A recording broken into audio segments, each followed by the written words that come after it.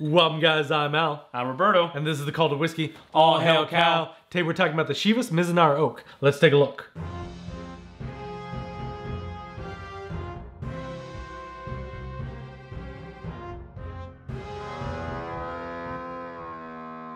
Welcome back. Today's whiskey is a blended malt scotch. It's a blend of both malt and grain.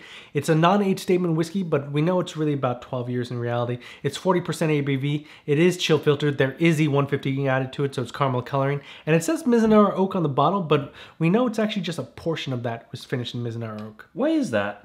Well, there's a lot of reasons for that. So Mizunara oak is very expensive. If you ever see a Mizunara oak tree, it grows wild. I'm gonna put a picture on screen right now, and you can see the branches. So the wood has to be 200 years or older in order to even harvest the wood. And once you do harvest it, it's soft, delicate, and porous, which means it's hard to make into cask without even breaking. And once you do make it into cask, it's prone to leaking. Then why even use Mizunara oak?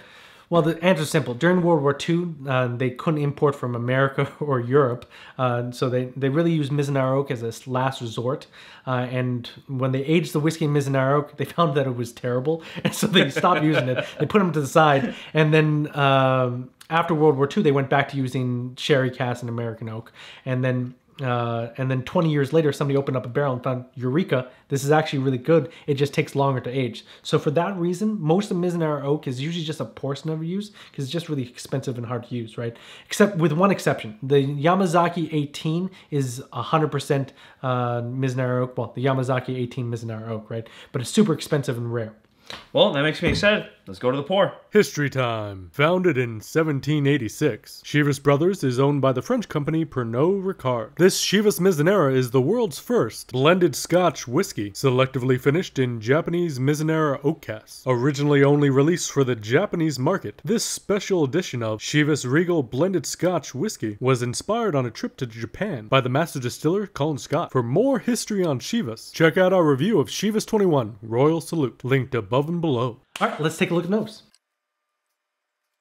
Well, it's delicious on the nose. No, absolutely. yeah, I mean, it's, you know, like soft peaches, pears. A little caramel. Yeah, absolutely. You get that vanilla. You get sort of that floral, Floral. note. Yeah, that floral Yeah, note that you would that, that you would expect out of a Japanese whiskey. Yeah. You know, you do get that.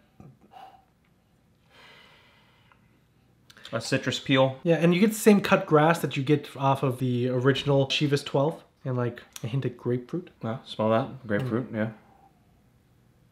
Let's take a look at the palate. I mean, sweet honey, floral notes, hazelnut. Chocolate. Yeah. Yeah. Like a chocolate, cinnamon, Kind of like a lighter cocoa type of chocolate. Mm -hmm. and the finish is spicy. You can feel it on your tongue. Yeah, yeah. It's and it's like super spicy and floral.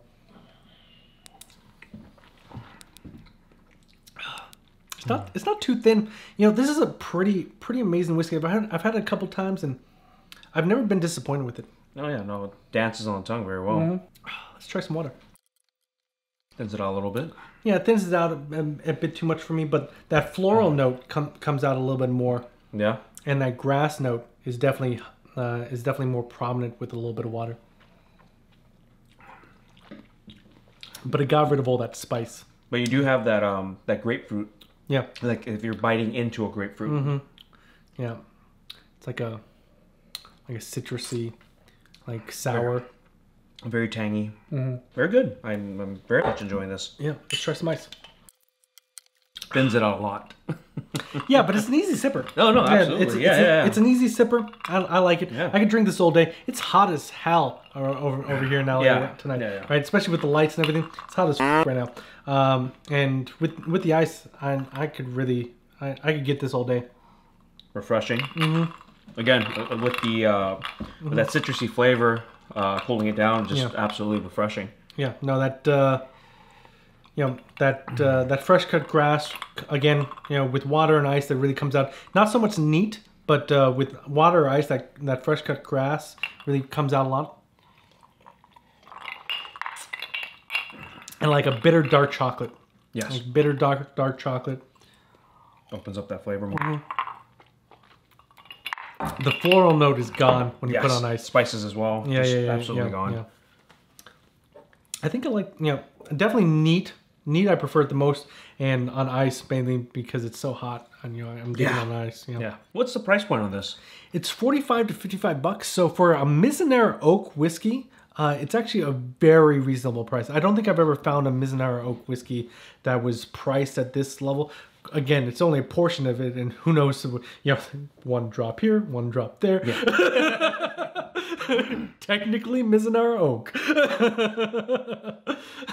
but uh, I mean, it's good. you Yeah, know, and- absolutely. but I've never had a Chivas that I didn't like. You know, and you know, even the 21, it's overpriced, but it's still good. Yes, right. absolutely. Like, so, good. So, what shelf would you put this on? uh, I keep this on the second shelf. It's not quite budget, but it's not quite complicated enough to go up to like a third shelf or anywhere near top shelf. But it's definitely a, a solid second shelf whiskey for me. Well, on that note, our toast today is as you slide down the banister of life. May the splinters point the wrong way. All hail Cal. And Bro, bro, you're dying. Hey, you're getting great blooper reels, man.